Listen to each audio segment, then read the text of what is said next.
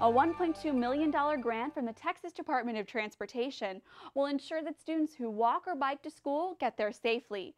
The Safe Routes to School grant was awarded to Pat Neff Middle School and Colby Glass, Glenoaks, and Powell Elementary Schools. The Safe Routes to School kickoff event is a celebration of a grant that will impact more than 3,000 students at four schools over the next couple of years. This is going to enable the schools to take that first step to start to get their kids involved in the walking and biking to school. And without that, it probably wouldn't happen. If children are not safe and healthy, then they are not ready to learn, which is why school leaders think the new grant is so important. This money is really about keeping our routes to school safe and also keeping our children healthy. But it's also more important than just those two things. I've said many times that we can have great academic programs, we can have great extracurricular programs, but it really doesn't matter a whole lot if we don't take care of ourselves in terms of our health and in terms of our safety. Northside Independent School District is making everyone in San Antonio very, very proud, not just by what's happening inside the classroom, but also what's happening outside the classroom, and this is one great example of that.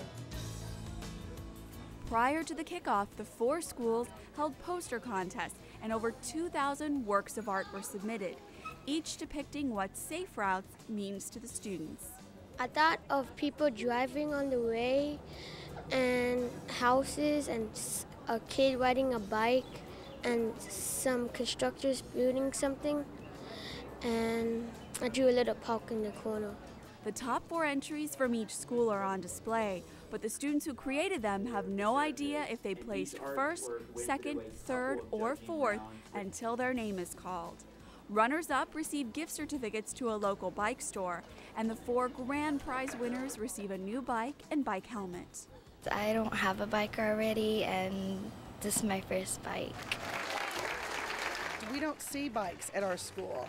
And so I'm hoping that this is the beginning and it's going to change that at Powell. I think the, the bike safety program now that's part of the Safe Routes, this is going to open a lot of eyes too. And I think kids, hopefully it'll help kids become more involved in biking and walking to and from school. The PAL teachers did their part to increase students' bike awareness by creating a bike show with their own bikes from home. Students walk around the display area reading descriptions of how their teachers use them. Check out the unicycle. But at this event, it's not enough just to talk about physical activity. It's time for us to get moving. We're going to take a walk and we're going to practice walking a safe route together. Students and staff end the celebration with a stroll through the Powell neighborhood as part of International I Walk to School Day. Hopefully, this will become a more familiar sight in the future as the four Safe Route schools start moving in the right direction.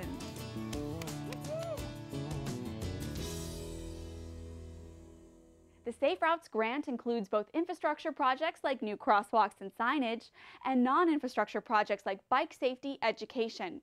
For more information, go to the Safe Routes website.